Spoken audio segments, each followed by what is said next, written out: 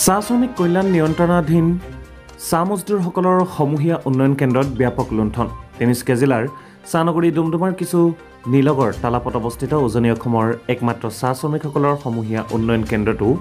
চাহ শ্ৰমিকসকলক স্বনিৰ্ভৰশীল কৰি তোলাৰ বাবে ঊনৈছশ পঁয়ষষ্ঠি চনতে কাটিং টেইলাৰিং এম্ব্ৰইডাৰী বিভাগৰ প্ৰশিক্ষণ দিবৰ বাবে কেন্দ্ৰ খোলা হৈছিল। ৰাজ্যৰ শ্ৰম বিভাগৰ অধীনত আৰু চাহ শ্ৰমিক কল্যাণ পৰিষদৰ নিয়ন্ত্ৰণত ওঠৰটা এনে কেন্দ্ৰ আছে। কিন্তু যুগ যুগ ধৰি আও পুৰণি প্ৰশিক্ষণৰ ব্যৱস্থা পাঠ্যক্ৰমেৰে চলি থকাৰ বাবে কেন্দ্ৰসমূহত প্ৰশিক্ষণ ল'বলৈ কোনো নাহে প্ৰশিক্ষক। অন্যহাতে চাহ শ্ৰমিকৰ উন্নয়নৰ নামত চাহ শ্ৰমিক কল্যাণ পৰিষদে চলোৱা ভয়ংকৰ লুণ্ঠনৰ তথ্য পোহৰলৈ আহিছে।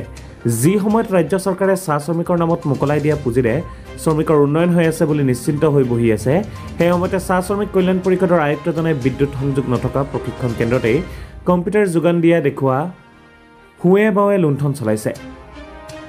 আজি তালাপত অৱস্থিত অসম চাহ চৰকাৰৰ আজি তালাপত অৱস্থিত অসম চৰকাৰৰ নিয়ন্ত্ৰণাধীন চাহ মজদুৰসকলৰ সমূহীয়া উন্নয়ন কেন্দ্ৰত অসম চাহ জনজাতি ছাত্ৰ সন্থা এটা সজাতি দল উপস্থিত হৈ কেন্দ্ৰটো পৰিদৰ্শন কৰি চাই যে কম্পিউটাৰ শিক্ষা প্ৰদানৰ নামত লুণ্ঠনৰ বাহিৰে একো নাই। স্কিল ডেভেলপমেণ্ট চেণ্টাৰটো ছাত্ৰ ছাত্ৰীসকলৰ প্ৰশিক্ষণৰ বিপৰীতে কেন্দ্ৰটো গোহালি সদৃশ পৰিণত হৈছে। আচবাবসমূহ একেবাৰে জৰাজীৰ্ণ অৱস্থাত কণা সাহস পতন দিয়াৰ ধৰণৰ অৱস্থাত। বৰ্তমান সম্পূৰ্ণৰূপে বন্ধ হৈ থকা স্কিল ডেভেলপমেণ্ট চেণ্টাৰসমূহ যোগান ধৰা কম্পিউটাৰ আৰু জেনেৰেটৰ ছেট ৰাজ্য চৰকাৰে ভোটৰ অংকত চাহ জনগোষ্ঠীৰ উন্নয়নৰ বাবে যিমানে পুঁজি মোকলাই দিছে সিমানে একাংশ চৰকাৰী বিষয়াৰ লুণ্ঠন ৰাজ নিজৰ পকেটত। সেয়েহে অতি শীঘ্ৰে কেন্দ্ৰসমূহ খুলি দিবৰ বাবে চৰকাৰক অনুৰোধ আটছাৰ নেতৃবৃন্দৰ। Bureau' report Adivasi news. আজি আমি হৈ উপস্থিত হৈছোঁ অসম স্বাধীন ছাত্ৰ সন্থা আৰ্টছাৰ হৈ উপস্থিত হৈছোঁ। আজি দেখিবলৈ পাইছোঁ অসম চৰকাৰৰ দ্বাৰা নিয়ন্ত্ৰিত শ্ৰমিক চাহ শ্ৰমিক কল্যাণ পৰিষদৰ দ্বাৰা সঞ্চালিত এই চেণ্টাৰটোত আমি দেখিবলৈ পাইছোঁ বিভিন্ন সময়ত আমি দাবী উত্থাপন কৰি আহিছোঁ যে এই চেণ্টাৰটোত ট্ৰেড আছে কিন্তু ইনষ্ট্ৰাক্টৰ নাই। তাৰ প্ৰতি লক্ষ্য ৰাখি চৰকাৰে কি নীতিত চল চলাই আছে। ইয়াৰ এটা সুপৰিকল্পিত এটা ব্যৱস্থাপনা নাই আৰু তেখেতসকলৰ এটা মানে কোনো কাৰ্যসূচী নাই বা তেখেতসকলৰ পৰিকল্পনা নাই যে কেনেধৰণে চলাব লাগিব।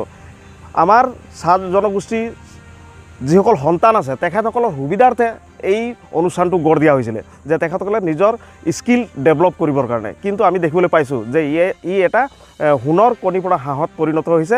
কিছুমান বিষয়া বিষয়াসকলে ইয়াৰ পৰা লুটি পুটি খোৱাৰ এটা ব্যৱস্থা কৰি লৈছে। আমি এইটো ধিক্কাৰ জনাইছোঁ আৰু গৰিহণা জনাইছোঁ আৰু অসম চৰকাৰক আমি দাবী জনাইছোঁ যে এই চেণ্টাৰটোত অতি শীঘ্ৰেই ভাল ধৰণে এটা ব্যৱস্থা কৰক ষ্টাৰ্টক দিয়ক ইনচাৰ্জ দিয়ক আৰু যিখিনি সুবিধা দিব লাগে চৰকাৰে সেইখিনি গোটেইখিনি দিয়াৰ ব্যৱস্থা কৰক আৰু আপোনালোকে দেখিবলৈ পাইছে যে বিল্ডিংটোৰ কি জৰাজীৰ্ণ অৱস্থা। তেখেতসকলে মেৰামতি কৰাৰ এটা তেখেতসকলৰ দায়িত্ব আছে আৰু কৰ্তব্য আছে। তাৰ কাৰণেতো চৰকাৰে ফাণ্ড ফাণ্ডিং কৰিব পাৰে।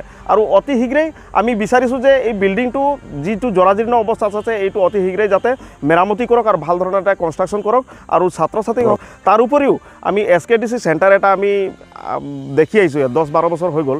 এটা পৰিত্যক্ত অৱস্থাত গোহালিৰ দৰে এটা অৱস্থা হৈ আছে। আমি দেখিবলৈ পাইছিলোঁ যে ইয়াতে বি- এ, কে- কিছুমান দিনৰ কাৰণে কম্পিউটাৰ এটা দিয়াৰ কম্পিউটাৰ প্ৰশিক্ষণ দিয়াৰ এটা ব্যৱস্থা কৰিছিলে। কিন্তু আমি দেখিবলৈ পাইছোঁ যে এটাও কম্পিউটাৰ ইয়াত নাই। আৰু নতুন নতুন জেনেৰেটাৰ ইমান দাম দাম দি কিনি আনিছে। এইটো কাৰ পইচা?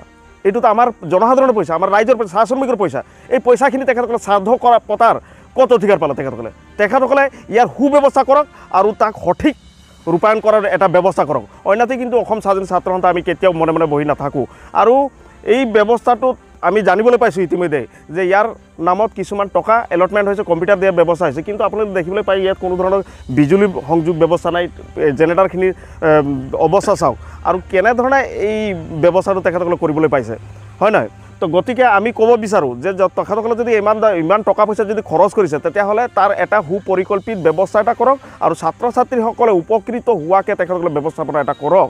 যাতে আমাৰ চাহ জনগোষ্ঠীৰ দুখীয়া ছাত্ৰ ছাত্ৰীসকলে এই ইয়াৰ পৰা সুবিধা লৈ তেখেতসকলে নিজক সংস্থাপনৰ ব্যৱস্থা কৰিব পাৰে। তাৰ কাৰণে লক্ষ্য ৰাখি চৰকাৰে এটা সুপৰিকল্পিত এটা ব্যৱস্থা কৰক তাকে আমি আহ্বান জনাইছোঁ। অন্যথা কিন্তু অসম স্বাধীন ছাত্ৰ সন্থাই কিন্তু মনে মনে বহি নাথাকে। এইটো স্বাৰ্থ মানে টকাৰ স্বাৰ্থ পতাৰ এটা ব্যৱস্থা কৰি লৈছে। এইটো কিন্তু আমি কেতিয়াও সহ্য নকৰোঁ।